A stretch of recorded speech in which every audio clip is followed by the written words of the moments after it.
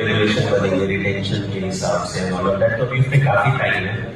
जब वो rule regulation बन के हमारे पास आएँगे, उसके बाद हम डिसाइड करेंगे। सो अभी बहुत हमारे कोर्ट में नहीं है so once rules and regulation gets formulize उसके बाद हम डिसाइड करेंगे। तो जो टीम के लिए सबसे अच्छा डिसीज़न होगा, वो लेना पड़ेगा because at the end of the day we all want the team to do so rules regulation retention उन सब के हिसाब से हम देखेंगे कि what is best for CSK and we take the best step trend हला फॉर अ रीजन सात घंटे वेट किए थला फॉर अ रीजन यार मुझे तो खुद भी नहीं पता था यू नो तो इंस्टाग्राम से ही पता चला. So you know I am grateful for my fans क्योंकि uh, मुझे बहुत ज़्यादा यू नो इंस्टाग्राम में या सोशल मीडिया में आके बोलने की ज़रूरत नहीं पड़ती है।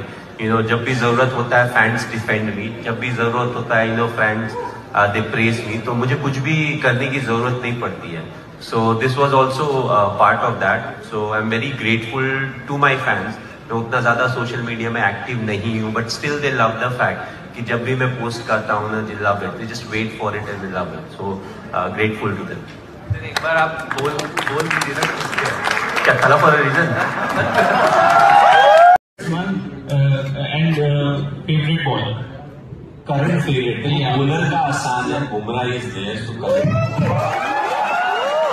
Phone call और message message action versus romantic action Bollywood और पॉलिटिक्स बॉलीवुड बट ये क्या एक्टिंग करना पड़ेगा दोनों दोनों में इंटरेस्ट नहीं है मुझे लगा एक साक्षी मैम और जीवा कैसे पिक करे? घर में तो जाना है। अभी अगर पिक करके चला गया, जीवा को पिक किया तो बीवी नहीं घुसने देगी। बीवी को पिक किया, कल जीवा बड़ी हो जाएगी, वो नहीं घुसने देगी। So I don't want any problem आप बोल बोल दीजिए ना। क्या कला फॉर रीजन?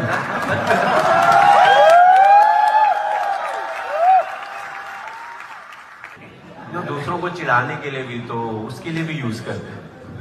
सर हमें तो पॉजिटिव ही लगता है नहीं तो मेरे फ़ैन दूसरों को चिढ़ाने के लिए यूज़ करते हैं। गौतम गंभीर।